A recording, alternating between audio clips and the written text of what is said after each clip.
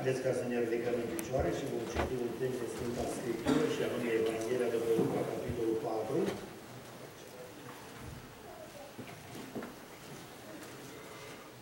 Am vorbit joi din pasajul acesta, vom vorbi și astăzi. De data aceasta vreau ca să citesc împreună cu dumneavoastră primele două versete și apoi versetul 13. Iisus, plin de Duhul Sfânt, s-a întors de la Iordan și a fost dus de Duhul în pustie, unde a fost ispitit de diavolul timp de 40 de zile. N-a mâncat nimic în zilele acelea și după ce au trecut zile, acele zile, a flămânzit. După ce l-a ispitit în toate felurile, diavolul a plecat de la el până la o vreme. Să ne rugăm Domnul. Tată din cer, mă închin înaintea Ta să-ți mulțumesc pentru că avem posibilitate ca încă o dată să ne ațintim privirile asupra Sfintelor Scripturi, să vedem ce ne înveți pentru viața noastră duhovnicească. Te rog, Tată, ca să ne binecuvintezi la aceasta. Ajută-ne, Doamne, ca în ascultare de Duhul Tău cel Sfânt să primim cuvântul acesta ca o sămânță căzută într-un pământ bun. Vrem, Doamne, ca învățăturile Tale să ne fie desfătarea inimilor noastre, să ne fie cea care să ne dea călăuză pentru cum să ne trăim viața pe acest pământ. Ajută-mă, Tată, și pe mine, în smerenia inimii și a sufletului, ca un rob al Tău, să mă pot lăsa sub călăuza Ta și ceea ce voi vorbi să fie cuvinte divine. În numele Tău te-am rugat. Amin. Vă rog să ocupați locurile. Evangheliile Matei și Luca ne relatează despre un eveniment destul de important în viața Domnului Iisus Hristos. Spun important în viața Domnului Iisus pentru că e ceva de unde noi putem să învățăm. Și pentru că apostolii așa au practicat viața. Și Apostolul Pavel ne-a învățat și nu o singură dată el zice să călcăm pe urmele Lui pentru că El a călcat pe urmele Domnului Iisus Hristos. Până la urmă învățăm din Evanghelie că Domnul Iisus Hristos a repetat nu numai ucenicilor, ci și oamenilor simple de pe stradă sau în case sau în sinagogă ori la templu unde se afla, dar a spus oamenilor nu o singură dată că eu fac ceea ce îl văd pe Tatăl să facă. Hristos Domnul a venit în lumea aceasta pentru ca să ne arate cât de mare este dragostea lui Dumnezeu, dar să ne arate și despre felul că oamenii, prin neascultarea lor de Dumnezeu, Adam și Eva, prin această neascultare de care au dat dovadă, s-au făcut rob și slujitori a unui domn care nu este demn să fie numit domn, s-au făcut rob și slujitori a unei ființe blestemate, a unei ființe îngerești care a căzut sub blestemul Domnului tocmai din cauza răului pe care a vrut să-l facă și să-l promoveze în împărăție cerească. A venit Hristos în lumea aceasta să ne arate nouă oamenilor că din firea noastră, de la ziua nașterii și până la ziua morții, avem tendința ca să arătăm înclinație de, uh, cum să spun, de subordine, da? Să ne subordonăm unei alte persoane, fie om, fie ființă angelică, fie lucruri materiale. Și a venit Hristos să ne atenționeze că este unicul singur Dumnezeu în lumea aceasta vrednic de laudă și închinare și că omul trebuie să păstreze starea de reverență doar înaintea acestui Domn. Credeți că diavolul ce face? Vine satanul la Eva și în același timp eu spun și la Adam și îi provoacă, îi pune la un test. Le dă niște grăunțe la moară să macine și să vadă ce fel de mămăligă, ce fel de mălaia să iasă din uh, râșnița aceea. Și sămânța care o seamănă în mintea omului este aceasta. Dumnezeu fie nu vă iubește, fie are anumite slăbiciuni și de aia v-a pus restricții. Voi sunteți capabili la ceva mai mult, dar El a pus niște ziduri v-a pus niște porunci să vă țină în subjugare și nu cred că se merită să mai trăiți în această necunoștință. Voi sunteți demni și sunteți în putere și aveți dreptul să vă folosiți de ceea ce vă este pus în față. E pomul aici, puteți să mâncați. Nu credeți și nu așa și nu așa și omul cade. Am vorbit joi despre această ispită care a venit Satan la om să-i spună omule, tu ești, I am entitled, eu sunt în dreptul. Ca și un cetățean care se bate cu pumnul în piept în fața unui vanist și zice eu am dreptul să aduc lucrurile astea în țară, pentru că eu am plătit pentru ele. Altul se duce în fața Parlamentului sau președinției și țipă pentru un lucru sau pentru altul și motivul care este în spatele lui, el zice, eu sunt în dreptul acesta. Tot așa au mers și răii care îi avem pe străzile noastre din țara aceasta, tot așa și oamenii care sunt legiuitori în statul New York, zilele trecute au votat și au zis, femeia este în dreptul să omoare bebelușul sau să, omoare, să, fac, să aborteze, da? Oamenii merg foarte mult pe varianta aceasta, pe această minciună, pe această uh, uh, farsă. Tu ești în dreptul să te folosești de anumite lucruri. Diavolul n-a pus la îndoială că Domnul Iisus Hristos nu este Fiul lui Dumnezeu, ci El vine și îi spune, păi dacă ești Fiu, dacă Dumnezeu te iubește, dacă tu ești Cel care crezi că ești, unde este dragostea lui Dumnezeu că ține flămând aici? Fă pâine! N-ai tu puterea să faci pâine? Și Hristos îi răspunde că omul va trăi și cu poruncile care iese din gura Domnului. Pentru că Hristos a știut că moartea în viața omului a venit datorită neascultării cuvintelor care ieșe din gura Domnului. De aceea și spune, omul nu va trăi numai cu lucrurile astea care, eh, cum se spune, apelează sau eh, provoacă plăcerea și poftele acestei fii, acestui trup, acestui organism. Hristos face aluzie și o aluzie foarte puternică la faptul că omul trăiește în viața aceasta. În primul rând, lăuntric spiritual și apoi se pune accentul pe exterior. De aia și zice, omul nu va trăi numai cu pâine, ci cu orice cuvânt care iese din gura Domnului.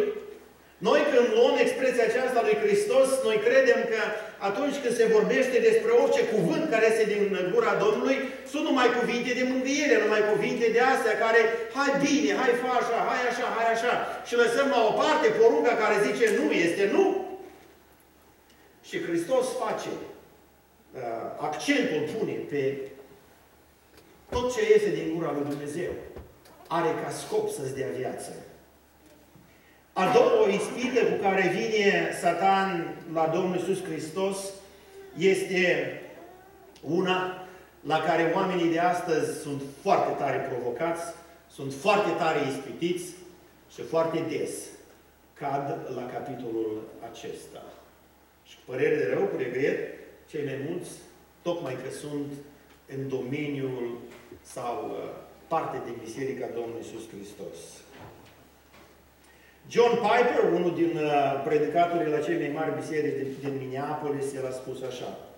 Păcatul își are puterea prin faptul că mă convinge să cred că eu voi fi mai fericit dacă îl voi urma. Puterea tuturor ispitelor vine din perspectiva să mă facă pe mine să cred că păcatul mă va face fericit. Și un alt păstor, un alt predicator din țara aceasta a spus așa. Păcatul, dacă n-ar fi dulce de la început, oamenii nu l-ar face. Și Cartea Proverbilor, cam în felul acesta, și conține un proverb acolo care zice Când am mâncat în gura mea era dulce ca mirea, dar mai apoi mi-a amărât toate măruntaiele, parcă am înghițit fierea amară și perit. Așa este cu păcatul arată de la început frumos, este dulce și după aceea aduce grozav, grozav dezastru în viața omului. Cum vă simțiți dumneavoastră când vă întâlniți cu o persoană și nu știți cine este? Doar vă se spune numele. Nu știu, John White. Și tu dai mâna cu John White, John White. Și care va fi reacția ta?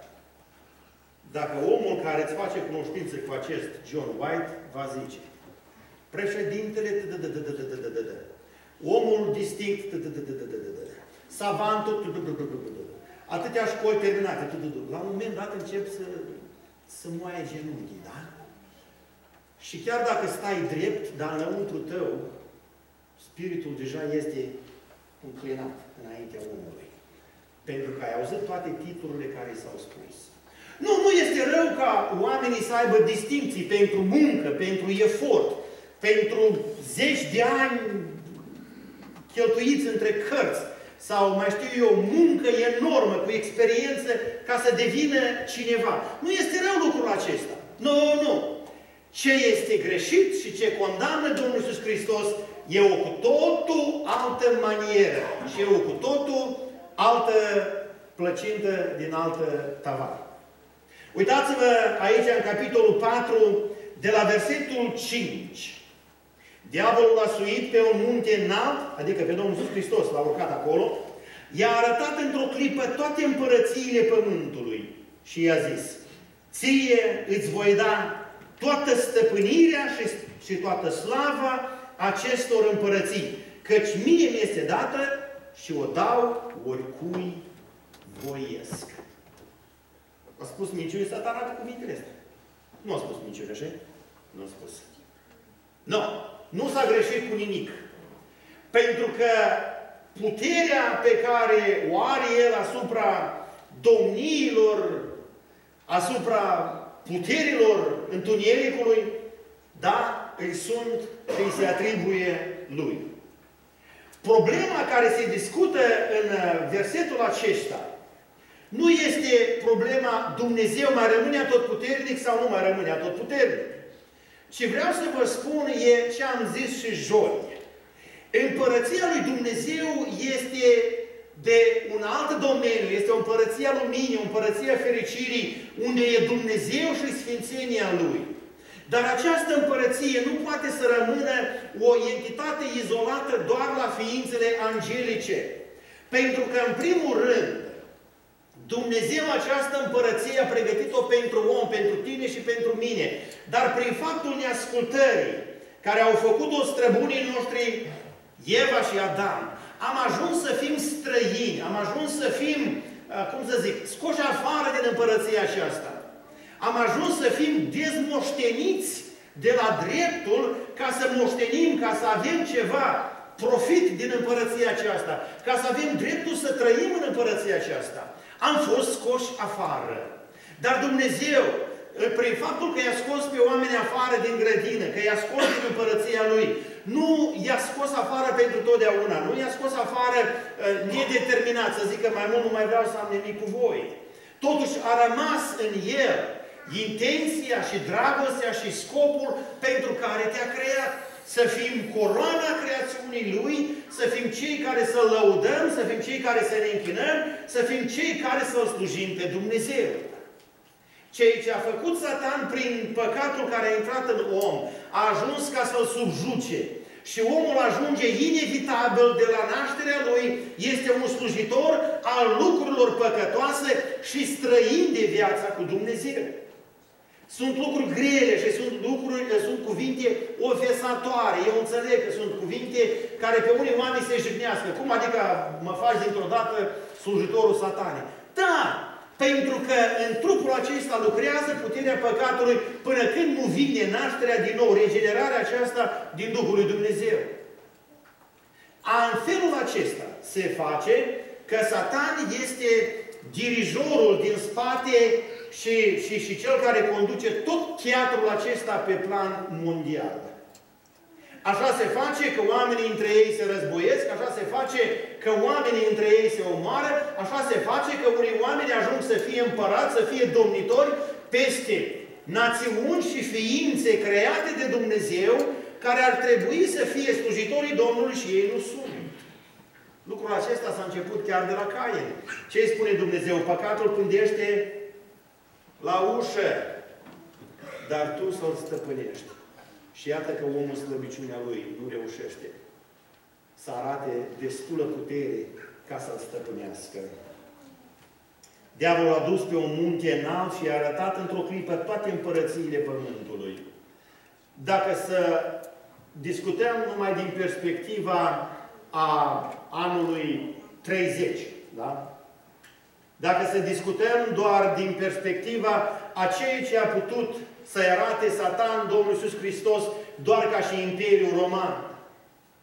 Dar ni se spune Sfânta Scriptură că l-a ridicat pe o munte înalt de unde a putut să vadă toate și celelalte împărății și piramizele din Egipt și marele uh, castele a altor împărați și bogățiile ascunse pe sub pământ a altor oameni și demnitari și împărați și conducători de națiuni. I-a arătat toate aceste bogății, i-a arătat toate aceste onoruri pe care poate să le aibă o persoană în fața altor oameni. Și îi zice, ție ți le voi da dacă vei pleca genunchiul înaintea mea. Despre lucrul acesta și-ar vrea să discut un pic. Al închinării. Satan îl provoacă și îl ispitește pe Domnul Isus Hristos. De data aceasta, știți cu ce îl ispitește? Eu nu știu, aici e o discuție care mai mult oameni filozofesc decât pot să iei textul de Sfânta Scriptură. Deci, noi nu știm până la urmă cât de mult cunoaște Satan din planurile Domnului. Aici e multe discuții, eu nu vreau să intru în ele, că nu mi este de folos, da? Dar evident, evident, pentru că așa spune Scriptura că este un șăret, este un mincinos și este un șmecher, Satan ceva a fi înțeles el din această încarnare a lui Dumnezeu, din această venire pe pământ. Pentru că n-a fost străin Satan când au venit magii la Irod și au zis, unde este împăratul de curând născut, că am venit să ne închinăm lui. Și Satan a tras cu urechea. Și a înțeles că ăsta este cineva, este un împărat. Și pe fundalul acesta al împărăției, al slavei, vine să-l ispitească. Vrei să fii împărat? Vrei să fii împărat? Vrei să fii om plin de slavă? Uite, asta este calea cea mai scurtă. Shortcuts. Și nouă, foarte tare ne mai place scurtăturile. Foarte tare. E de ajuns să se închidă un pod. E de ajuns să se înceapă reparația la un oarecare drum. Și tare ne mai deranjează. Și când calculăm în timp și ne uităm, a, poate cheltui cu o minută sau două mai mult. Dar pentru că noi ne, ne-am deprins o anumită rutină, cele mai scurte lucruri, cele mai ușoare variante, ceea ce ne aduce disconfort sau ne strică rutina sau ne îngreuiază un pic viața, este foarte greu de acceptat. E foarte greu de acceptat. Și Satan vine cu ispita aceasta la Domnul Isus Hristos. Vine și îi spune, auzi, hai să facem așa. Nu te costă nimic. Ai plecat genunchiul înainte. Și toate împărățiile care ți le văd ochii și toată slava la care poți să-ți imaginezi că o vei avea, ia că Este cea mai ușoară cale și este drumul fără piedici. Înțelegeți ce îi sugerează Satan? Domnul Iisus Hristos. O cale fără piedică.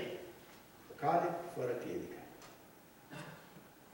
V-am mai spus uh, istoria aceasta care am citit-o într-o carte.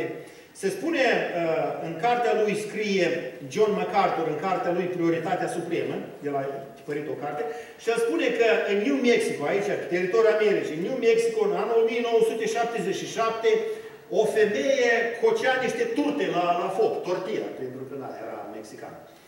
Și când cocea mai multe tortilla, a întors-o pe una dintre ele și a văzut acolo chipurile după cum s-a înnegrit aluatul, chipul Domnului Iisus Hristos. A făcut lucrul ăsta public și în așa fel, timp de 2 ani de zile, 35.000 de mii de oameni au vizitat locul acesta unde a fost focul și uh, stătea tortilla pusă la, la așa, la văzut și veneau oamenii să se închine, aduceau flori, aduceau fotografii a rudelor lor bolnave, precum că icoana aceasta le va aduce salvare. Acum, nu de mult, nu știu, anul trecut am citit, o altă persoană instala geamuri de astea din termopan. Și la un moment dat, în sticla clară, apare icoana Mariei. Și gata, au luat icoana, au băgat, au luat geamul, nu l-au mai instalat la clădirea la care trebuia și au pus-o în biserică pentru că este deja mână divină acolo. Și oamenii ajung să se închine într-un mod greșit lui Dumnezeu. Lucrul la care Hristos Domnul a condamnat din stat. Pentru că uitați-vă ce spune răspunsul Domnului Iisus Hristos în uh, versetul 8. Drept răspuns Iisus i-a zis, Înapoi a mea, satanul, este scris să te închini Domnului Dumnezeului tău și numai Lui să-i slujești. Problema închinării a fost o, o, cum se spun, a fost o problemă enorm de controversată. Cum să se închine oamenii, cui să se închine oamenii și când să se închine. Întotdeauna omul a fost ispitit să meargă pe calea cea mai ușoară și în termenii care îi convin lui. Nu în termenii care să-i convină Domnului. Satan îi propune o cale foarte ușoară și îi spune Domnul Iisus Hristos, ai venit pe pământul ăsta să fii împărat? Iată drumul care ți-l ofer eu. Un drum fără piedici. Ne uităm în Apocalipsa, sunt două cazuri aici. În primul capitol din Apocalipsa, Sfântul Apostol Ioan are o revelație divină. Dumnezeu îi se descoperă și Ioan îl vede. În ce măsură a putut el să priceapă cine este acesta, dar cel care stătea pe tron l-a frapat, l-a, cum să spun, l-a mișcat atât de puternic, pentru că ni se spune în versetul 17 cuvintele lui Ioan. Când l-am văzut, am căzut la picioarele lui ca mort. N-a fost un act de închinare binevol, ci mai degrabă a fost o cădere leșă. Și spune că Dumnezeu și-a pus mâna dreaptă peste el și a zis, nu te temi. Dar în capitolul 22 din, din Apocalipsa, vedem o altă chestiune. 22, versetul 8 și 9. Ioan vede un înger. Și îngerul care i-a arătat frumusețile împărăției lui Dumnezeu. Și el hotărăște, în formă de respect față de această ființă angelică, să mă închin înaintea lui. Că e slujitorul Domnului, auzi? Și când s-a închinat înaintea îngerului, îngerul o și la apucă și îi spune, ferește-te să faci lucru ca acesta. Pentru că eu sunt un slujitor împreună cu cine? Cu frații tăi și prorocii care îl slujesc pe Dumnezeu ca și tine. Și versetul se încheie cu cuvântul închină-te doar Domnului. Cum au înțeles creștinii învățătura Domnului Isus Hristos în această ispită? Să mergem pe calea cea mai ușoară. Știți cum au înțeles-o?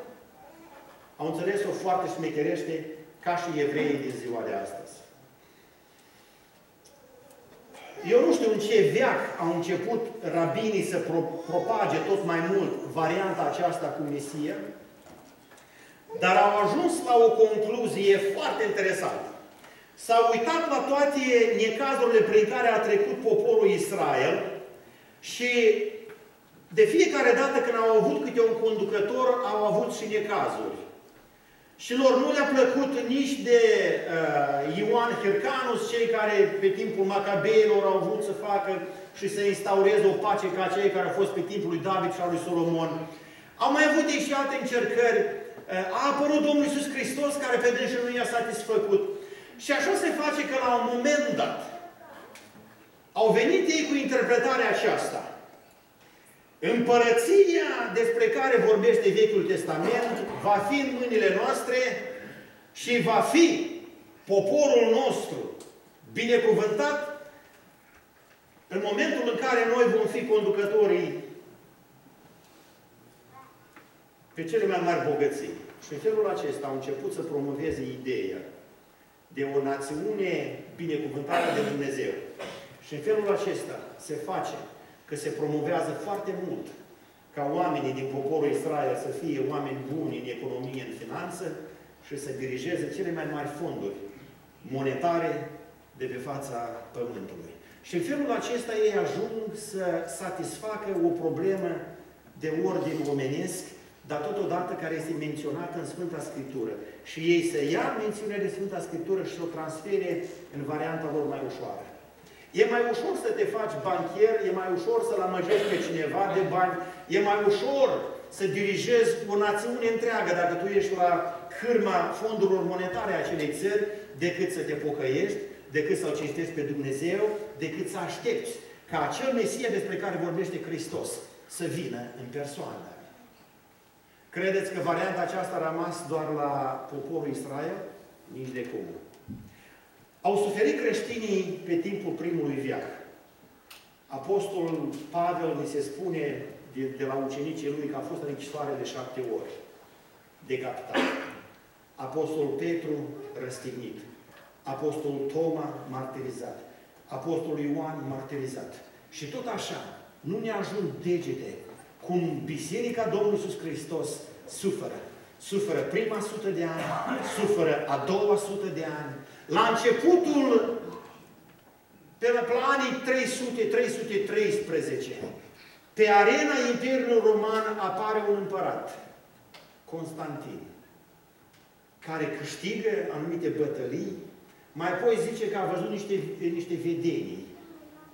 Și se apucă Eusebiu, un pocăit, să zicem noi așa, un istoric și un om foarte deștept, care a venit cu varianta și tare bine s-a mai pus cu împăratul, și Eusebiu este primul om care sugerează împărăția lui Dumnezeu pe pământ. Ajunge peste câtva timp, Constantin începe să construiască o nouă cetate, departe chipurile de păgânii de la Roma. Și nu mai împărățește în Roma, ci împărățește în Constantinopol. Și acolo, cu ajutorul viziunilor care le-a avut, cu ajutorul episcopilor și altora, începe omul acesta să propage un imperiu romano-creștin.